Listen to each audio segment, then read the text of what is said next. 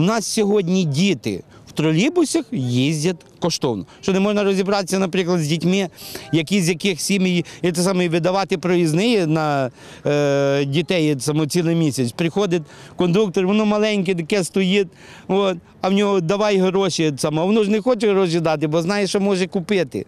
От, це не можна сам зробити. А людей, яких загнали те саме, нижче плінтуса, не можна зробити саме в магазинах е, відділ чи по пенсійному, чи по доходах, чи карточку, чи на облік взяти якось людей, щоб їм трошки допомогти матеріально, які соціальні. Держава зняла з себе відповідальність за контроль цін. От, зняла себе, нічого продукти не контролюють.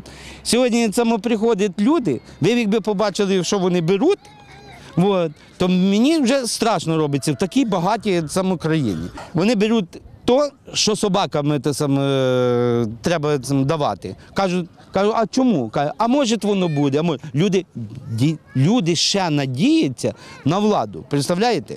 Я хочу звернутися до представників нашої влади. Нехай вони чим, чим можуть. Якщо кинула влада в Києві, якщо держава відказалася, якщо не контролює нічого, щоб можна було, то якимось способом соціально допомогти людям, які попали на сьогоднішній день в дуже скрутне становище, от, незалежно від них створене.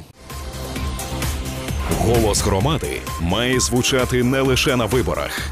У новому проєкті телеканалу Поділля Центр кожен зможе скористатися правом висловити свою думку, бути почутим і побачити себе в ефірі. Народна трибуна чекає вас щопонеділка з 18 до 20 години на Майдані Незалежності у Хмельницькому.